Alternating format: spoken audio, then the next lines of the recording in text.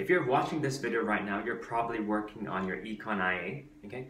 So you, and you should definitely pay very, very close attention to this video and to what you're about to hear because I'm going to teach you a system for acing evaluation for IB economics. And this method for acing evaluation can be used for your IA. It can also be used for your IB exams, okay?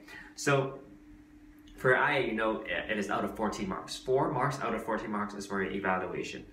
And um, if you can, if you can write a good conclusion, you can get a four out of four. But if you don't, you can, you might as well get two out of four or one out of four. And for your paper one and paper two, you know, in paper one, the evaluation questions are worth 15 marks, right? A lot of students say that it's very difficult to get more than 11 or more than 10, right? But if you know how to write a great conclusion and you have the right arguments, you can, it is easy for that you can get four, 13 or 14, okay? And for paper two as well, um, there's evaluation question if you can write a good conclusion, that is, that is what separates you from a level 5 to a level 7. So this video is focused on teaching you how to write a great conclusion. But if you want to learn how to write a good IA, you can go to search Econ IA on YouTube and you can find my videos, okay? Um, they have been watched by more than 100,000 students, right? But if you have already watched those videos and you just want to learn how to write a conclusion, then pay close attention to this video. So let's get straight to it. I believe there are four ways that you can write conclusions, all right? And there are four sentence structures that you can use in your conclusion. You can use all, all of them, or you can use a few of them, or you can only use one of them. It's also okay. Let's get straight to it, okay? The first way you can conclude is by saying to a certain extent, right? Um, so let me give you an example. So you know, for my, let's so for, microeconomics, I taught you that you, you can talk about indirect tax for cigarettes, right? So let's use that as an example. If you're talking about indirect tax for cigarettes, I don't know what your article is. Probably, you, you definitely should refer back to your article. But for example, just to give you an example, you can say, to a certain extent, using indirect tax on cigarettes is effective in reducing smoking because um, it is going to be more effective for young people because they have a high PED as they're not addicted, right? You know that young people, they're not addicted to cigarettes, they have a higher price elasticity of demand. So when the indirect tax is imposed and the price increases, there's a greater decrease in quantity demand amongst young smokers, right? But on the other hand, for addicted smokers, for longer term smokers, they have a lower PED because they have they are addicted to cigarettes. Therefore, it is indirect tax is less effective for the addicted smokers, right? So to so let me repeat. So you can just say to a certain extent, indirect tax is effective. It is more effective to young smokers because um, they're not addicted and have high PED, but they are less effective for addicted smokers, right? So you can see to a certain extent, you're saying, okay, it is useful to a certain extent. There are strengths and weaknesses. Second sense, uh, way you can conclude is by saying, talking about short run and long run. So, okay, so to give you an example, you can say, in the short run, indirect tax for cigarettes tends to be less effective, right? Because the PED is lower in the short run. but in the long run, indirect tax is likely to be more effective because over the long run, consumers can find substitutes, right? And because they can find substitutes, the um, their, the PED will rise and there will be a larger fall in quantity demand in the long run. And more importantly, uh, in the long run, uh, it is more effective. It is also more effective in the long run because um, as young, because indirect tax is effective towards young smokers, right? So because indirect tax is effective towards young smoker, we can expect a significant fall in smoking rates for the future generation. Hence, it's more effective in the long run. Makes sense? Short run not effective because of low PD. Long run PD increases because consumers can find substitutes. And more importantly, because it is more effective on a young gen generation. That's why over the long term, we can expect a greater fall in smoking rates in the population. The next is the approach of benefit versus cost, right? So for example, you can say that the benefits outweigh the cost or the cost outweigh the benefits. And then you come up with the reason to back that up, okay? It's not that difficult. So for example, for indirect tax, you can say the benefits outweigh the cost of using an indirect tax on cigarettes because cigarettes are being overconsumed, hence it leads to a welfare loss, right? Indirect tax can remove the welfare loss and is therefore um, and would therefore benefit the society overall, right? Make sense? Right, so there's an overall benefit to the society. The benefits outweigh the costs because cigarettes is being overconsumed and there's a welfare loss. So if if there's an indirect tax, the welfare loss will be reduced, hence the benefit outweigh the cost. Good? Next thing you could do in your conclusion is by saying it depends, right? So I guess for the indirect tax case, you should say it depends on the price elasticity of demand right? So if the PED is low, then it is going to be less effective. It's tight and it's more effective. But one thing you want to take note of is normally for your IA, it depends. You shouldn't use the it depends one because in the IA it will tell you okay the PED is low, right? Like they will give you statistics to, about the PED. Then you can't say it depends on the PED. It doesn't make sense. The PED is already given. But for paper one questions, if they ask you just an open-ended question saying evaluate indirect tax, so you can say it depends on the PED. It makes a lot of sense, right? Okay, last one is the government should strike a balance between. Okay, so this so basically the idea here is that, okay, for example, if you impose indirect tax, that can lead to unemployment, right?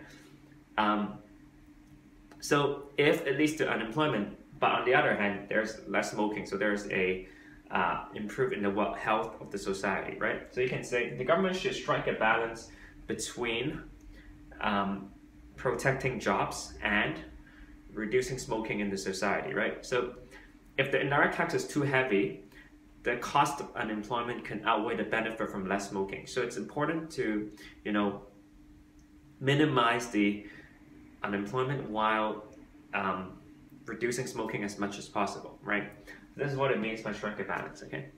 So you can you can basically use all of these together, right? But of course, uh, the examples I gave you just now is um, you shouldn't copy them directly. You should read your article and see which ones really work for you. Now, let me give you another example. Let's say you're writing a macro. A very common topic for macro is monetary policy, interest rates. Okay, so let's say you're evaluating the use of interest rates to reduce inflation. Interest rates to reduce inflation. Okay, so you know interest rate. If you increase interest rate, a aggregate demand falls and the average price level falls. So you have less inflation, right? Let's say you're evaluating that. Okay, so what if you want to use to a certain extent, you can say something like this. To a certain extent, the interest rate can reduce inflation by reducing aggregate demand. However, so when you use to a certain extent, you should always use talk about however. However, um, you can say um, not all spending require borrowing, right? So uh, oftentimes, uh, consumers and firm spending may not be very responsive to the rate of, to the interest rate. Therefore, the interest rate may not be the aggregate demand may not be responsive to the changes in interest rate and the rise in interest rate may not be enough to bring down inflation. Makes sense? So on one hand, it can it definitely has an effect on have a negative effect on AD, so it can reduce AD. But on the other hand, however, um, uh, however, the many spending do not require borrowing, so um, the responsiveness of aggregate demand on interest rates is are very often quite low. Short run, long run, this one should be easy, right? So, you know, for monetary policy, there's a time lag, right? So you can say, for monetary policy, there's a time lag. So therefore, in the short run, there may not be a noticeable effect, but over the longer term, the effect will be more significant. So it's likely to be more effective over the long run, okay? So for benefit versus cost, okay. So if you're trying to use interest rates to reduce inflation, probably the cost of that, the benefit of that would clearly be less inflation the cost of that would be higher unemployment, right? So you, you really look, so, okay, so maybe in the article it will tell you that the economy is being overheated, okay, the inflation is very high but and the unemployment is very low. Then you can, def if that is the case, then you can say the benefit of um, using monetary policy outweigh the cost because right now inflation is the major concern. Unemployment rate is very low. So the government does not need to be concerned about unemployment yet right? On the other hand, if it tells you that inflation is high but unemployment is also high, then maybe you can say that the cost of unemployment may outweigh the benefit of lowering inflation, okay? So they should not use this contractionary monetary policy, they should use other policies instead, okay?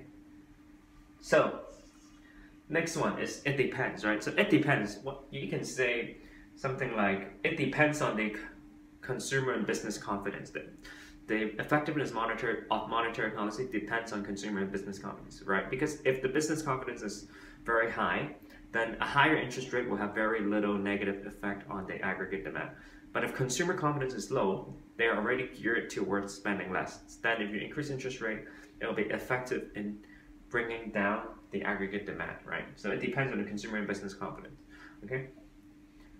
And, again, whenever you use, use it depends, then um, it is it is better not to use this for your IA because they They already give you real facts. You don't need to say it depends. But for paper one, you can definitely use it depends. Okay. Last, the government should strike a balance. This one is easy. So ultimately, you can say there is a trade-off between inflation and unemployment, right? When we use uh, monetary policy to reduce inflation, there's a trade-off with unemployment. As inflation falls, unemployment rises. It is important that the government strikes a balance between lowering inflation and lowering unemployment so that both macro objectives can be achieved, right? Good. So if you're working on trade, uh, trade IA, uh, as I mentioned, the topic that you should do is tariffs, right? I mentioned in the other IA video. Okay, so for tariff, I think the most, the two conclusion ways you can use is probably these two. The other ones, I find it kind of hard to use them. So let's say you talk about short run, long run. What you can say regarding short run, long run is that in the short run, tariff can help to protect jobs, right? But in the long run, a tariff protectionism leads to a fall in efficiency, right? Why fall in efficiency? It leads to a fall in efficiency because there is less specialization according to comparative advantage, right? When the, so protectionism reduces trade. And because of the reduction in trade, there's less specialization co compared to, according to comparative advantage. So this reduces economic efficiency. This can reduce the overall output of the economy, right? Less specialization. So this can ultimately lead to more unemployment in the long run, perhaps, right? So, and then for benefit cost, I, I, like to think that tariff, the cost almost always outweighs the benefits, right? So protectionism, the cost of protection outweigh the benefit of protectionism because um, in the long run, there's a loss in, loss in efficiency, and which leads to loss in economic growth. Okay, but of course, in some extreme cases, you, it could be the case that benefits outweigh costs because the local producers are suffering, right? So they should be protected from dumping, perhaps right? So it really depends. This is up to, up to you. Okay? So I hope that you found this video useful. If you found it useful, please share it with your friends. Uh, leave a comment, okay? So these five approaches I taught you today, you can use it for paper one, paper two, and your IA as well.